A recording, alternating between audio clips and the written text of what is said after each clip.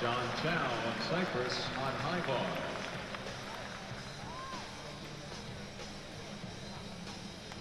Coming up next on high bar for Cypress, Jack Freeman.